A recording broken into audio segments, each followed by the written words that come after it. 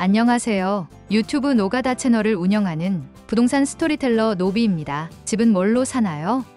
네, 돈으로 삽니다. 현금 가져와야 집을 살 수 있습니다. 은행 대출을 받는다고 하더라도 결국 은행이 내가 낼 돈의 일부를 내주고 매월 원금과 이자를 가져가죠. 하지만 사람들이 돈을 안 내고 사람들이 집을 살 돈이 없다고 하니까 미분양이 속출하는 제주도에서 돈 대신 이거 달라고 하네요. 구독과 좋아요 꼭 눌러주시고 자주 방문해주세요. 구독 꼭이요. 돈 대신 집을 살 수 있는 것 바로 암호화폐입니다. 비트코인, 알파코인 등으로 불리는 암호화폐로도 이제 집을 살 수 있죠. 제주 지역 주택 미분양이 속출하자 주택 분양대금을 암호화폐로 받겠다는 업체가 등장해 눈길을 끌고 있습니다. 제주 휴안 더갤러리 에워리차 빌라 전체 24세대가 암호화폐로 분양 대금을 결제한다고 홍보를 하고 있습니다. 이 빌라는 최근 주택 분양 시장이 얼어붙자 분양가를 대폭 할인하고 암호화폐로 분양 대금을 받는다고 광고하고 있죠.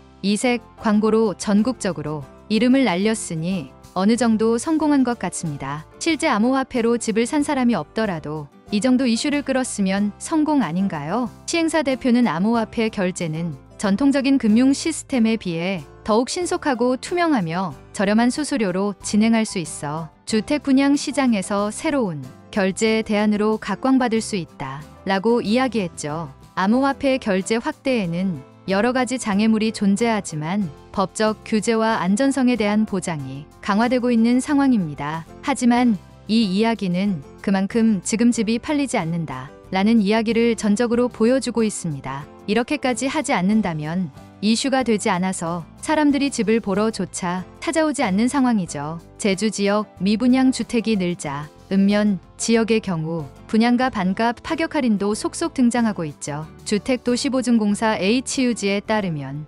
2023년 지난해 12월 기준 제주 민간 아파트 평균 분양가는 평당 2,574만 원으로 전국 평균 1,736만 원 보다 48% 높았습니다. 전국 지자체 중에는 서울 3,495만 원에 이어 제주가 두 번째로 아파트 분양가가 높죠. 이렇게 비싸게 파니 아파트가 팔릴까요? 한때 제주살이 열풍이 불 때 땅값과 아파트 가격이 엄청나게 상승한 적이 있었죠. 그 상승세가 지금까지도 이어지고 있다고 보면 될 것 같습니다. 2023년 지난해 12월 기준 제주 전체 미분양 주택은 2,499채, 준공 후 미분양은 1,059채에 달했습니다. 가격이 치솟으면서 외지인의 매입 물량도 1년 사이 무려 40% 가량 감소했습니다. 이 가격에는 더 이상 투자할 수 없다는 판단이 들었겠죠. 외지인의 아파트 매입 비중도 2023년 1월 23%대에서 11월에는 15%대로 급락했습니다. 이렇게 미분양 속출하자 아파트가 팔리지 않는 상황까지 오게 되고 분양가 반값 살이는 기본이며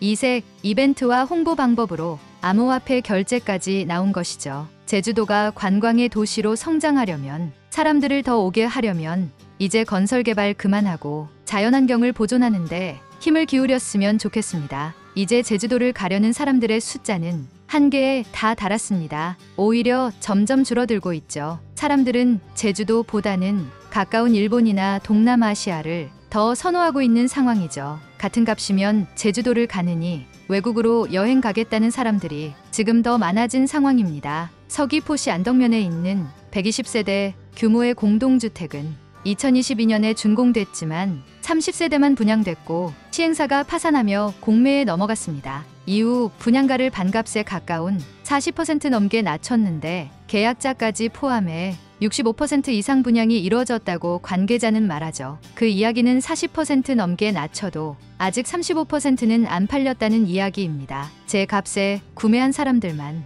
지금 호구가 된 상황이죠. 상가 같은 경우는 할인 폭이 최초 분양가보다 65% 정도, 그리고 주택은 45% 정도, 그렇게 인하된 가격에 팔고 있죠. 호실당 2억 정도가 할인된 가격입니다. 그럼에도 사람들이 안 사는 것도 문제고, 처음부터 그렇게 높은 가격에 사람들에게 팔아서 수익을 남기려던 시행사와 건설사도 문제죠. 인근의 70여 세대의 공동주택은 2019년 준공된 곳인데 5년이 지난 2024년인 지금도 아직 20여 세대가 미분양 상태입니다. 이곳은 자체적으로 분양가를 15%까지 낮췄는데 집이 팔리지 않아 추가 할인을 계획하고 있습니다. 정가에 구매한 사람들만 호구된 것이죠. 새로운 결제 방식으로 미분양 국면을 돌파하려는 곳도 있습니다. 앞에 이야기했던 곳이죠. 2024년 3월 다음 달 준공을 앞둔 신축 공동주택인데요. 이곳은 미분양 문제를 해결하기 위해 가격을 낮추고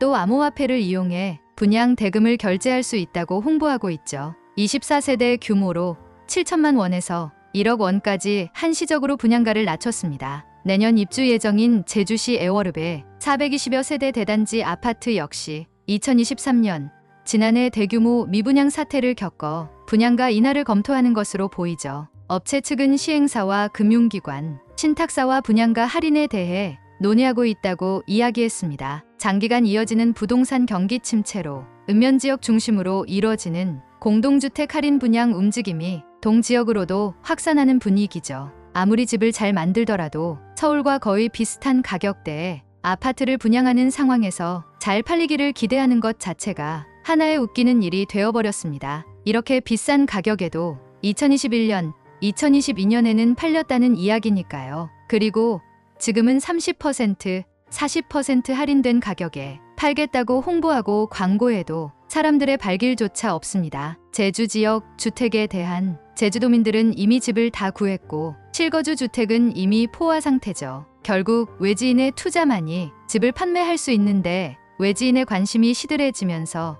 번수가 급감한 것입니다. 섬이라는 특성상 인구와 사줄 사람은 한정되어 있으니까요. 게다가 서욱에 육박하는 높은 가격에 고금리로 사람들이 구매 욕구가 높지 않죠. 분양가도 높아져 악성 미분양도 쌓이는 양상입니다. 2024년 2월 25일 제주도가 집계한 2023년 제주 주택 관련 통계 및 현황에 따르면 2023년 지난해 제주가 아닌 다른 지역에 주소를 둔 외지인이 주택을 매입한 건수는 1,498건으로 2022년 2,286건에 비해 34% 넘게 감소했습니다. 제주 지역 전체 주택 매입 거래 중 외지인 비중도 2022년 27%대에서 2023년 22%대로 줄었습니다. 외지인이 점점 집을 사지 않는다는 것이죠. 아파트만 보면 지난해 외지인의 제주도 아파트 매입 거래는 361건으로 2022년 전년 동기 543건과 비교해 무려 33% 이상 감소했습니다. 아파트 매입 거래 중 외지인 비중은 2022년 18%대에서 2023년 16% 수준으로 내려앉았죠. 이는 예전과 달리 제주 이주가 줄어든 데다 고금리에 따른 대출, 이자 부담, 경기 침체 등이 복합적으로 작용한 탓입니다. 실제 2023년 지난해 제주는 전입 인구보다 전출 인구가 1687명 더 많아 14년 만에 이동 인구가 순유출로 전환됐습니다. 제주살이 하던 사람들이 제주도를 떠나기 시작한다는 것이죠. 제주도민들도 제주도를 떠나고 있고요. 높은 주택 가격도 매수세를 꺾는 요인입니다. 2023년 지난해 12월 기준 제주 지역 민간 아파트 평균 분양가는 제곱미터당 780만 천원으로 전국 평균인 526만 천원보다 무려 48% 비싼 상황입니다. 평으로 환산하면 무려 평당 가격이 2,574만 원이죠. 2022년 전년보다 12% 이상 증가했습니다. 외지인은 제주에서 살기 위해 매입하는 실수요층도 있지만 second house로 사들이거나 시세 차익을 기대해 투자하는 경우도 많았죠. 하지만 최근 높은 분양가로 인해 기대 수익 하락이 불가피하다 보니 주택 매입이 주춤할 수밖에 없습니다. 아니, 거의 안 하려고 하고 있죠. 주택 매수세가 전반적으로 하락하면서 제주에는 미분양 주택이 쌓이고 있습니다. 2023년 지난해 12월 기준 미분양은 2,499호로 2022년 전년 같은 기간 1,676호보다 거의 0.5배 가까이 늘었습니다. 악성으로 분류되는 준공 후 미분양도 무려 1,059호에 달합니다. 과연 이게 다 팔릴까요? 지역 곳곳에서 외지인 수요를 기대하고 새롭게 지은 주택이 분양되지 않고 있죠. 특히 2021년 2022년 부동산 급상승기 때 시장 상황으로 보고 적극적으로 주택 건설을 시작해 주택 착공 물량이 많아 최근 준공 시기가 도래했는데 부동산 시장 침체 속 여러 요인이 작용해 계속해서 미분양이 많이 발생하고 있습니다. 결국 팔리지 않는 물건들이죠. 가격을 확 낮춰도 원가 수준까지 떨어뜨려도 지금 팔릴까 말까 하는데 가격은 전국 평균보다 월등히 높으니 과연 얼마나 많은 사람들이 지금 제주도의 아파트나 건물을 구매할까요? 제주도 살이, second house 다 잘 사는 사람들의 생각이고 여유 있는 사람들의 삶일 뿐입니다. 하루하루 힘들게 살아가는 서민들에게 있어서 그저 꿈이죠. 거기에 들어갈 돈으로 차라리 제주도 좋은 호텔 100번 가더라도 돈이 남을 것 같네요. 노비와 함께하는 부동산 이야기. 오늘은 여기까지입니다. 구독과 좋아요 꼭 눌러주시고 자주 방문해주세요. 구독 꼭이요.